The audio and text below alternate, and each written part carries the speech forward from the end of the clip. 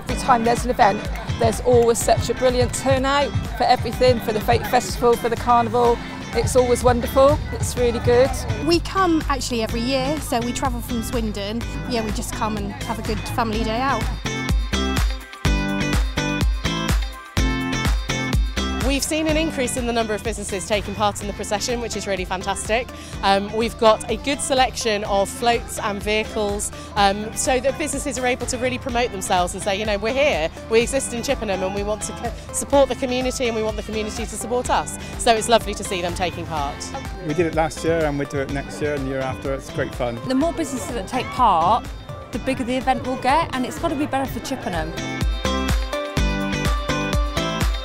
It's very important for the businesses to support these events because they need to bring the community into town to keep the high street alive and all the businesses operating and this kind of thing does bring everyone together so it's wonderful. Well, this is the third time we've sponsored the carnival, and we've just been amazed by the number of people who are interested in buses. And it gives us a great opportunity to come down, chat to people. And this year we are publicising our Kids Go Free during the summer holidays.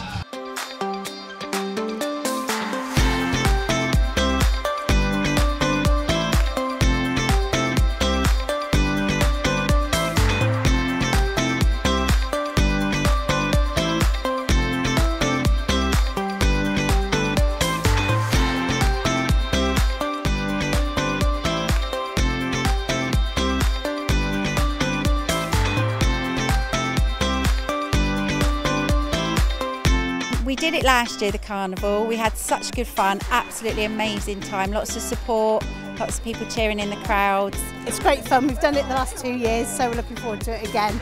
And as you can see, the girls look spectacular.